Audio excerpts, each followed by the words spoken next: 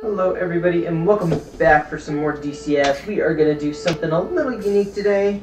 Normally, standard traffic pattern is 800 feet AGL into a left overhead, left overhead break between 300 and 350 knots. We are going to modify that just a smidgen, ever so slightly, and we're going to change two things. One, we're to do it at at least Mach. I mean, 300 knots, nowhere near fast enough. The other change we're to do is not quite as simple. We are going to have the joy of going vertical.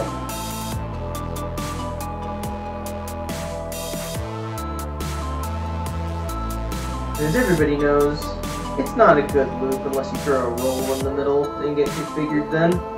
So, rolling, configuring, vertical, upside down, speed brakes, get ourselves lined up with that runway there.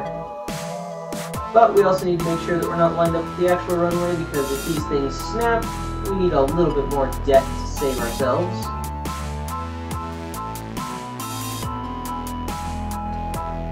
Dropping some speed here. Looking for the three wire. See, when it snaps, it just doesn't let you have it. Thank you guys for watching. Hope you guys enjoyed the Mach loop.